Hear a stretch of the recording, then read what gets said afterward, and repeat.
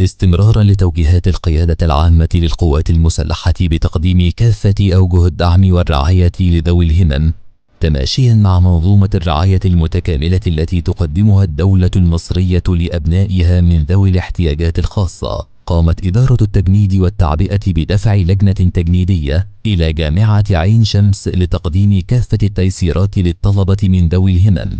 وإنهاء مواقفهم التجنيدية ومنحهم شهادات المعاملة التجنيدية بالمجان في أماكن تواجدهم. وألقى اللواء محمد صبحي مهنا مدير إدارة التجنيد والتعبئة كلمة أشار خلالها إلى حرص القيادة العامة للقوات المسلحة على توفير كافة سبل الدعم والتيسير على أبناء الوطن واتباع أنسب الأساليب للمعاملة المجتمعية الراقية التي تليق بهم. مما يسهم في تعميق علاقة ترابطهم بقواتهم المسلحة.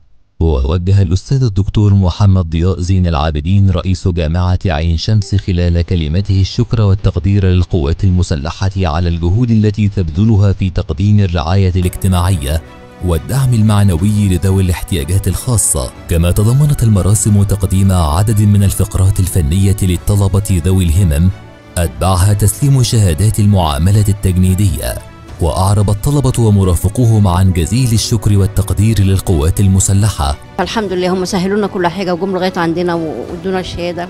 كتر ألف خيرهم متشكرين قوي قوي لإدارة التجنيد وشكرا للرئيس ربنا يكرمه يا رب. بذكر سيادة الرئيس الفضل الأول والأخير يرجع ليه هو المهتم بذوي الاحتياجات الخاصة مهتم بينا ومراعينا الصراحة في كل حاجة. الحمد لله الإجراءات كانت سهلة و... وبشكر ست الرئيس عبد الفتاح السيسي على اهتمامه بينا.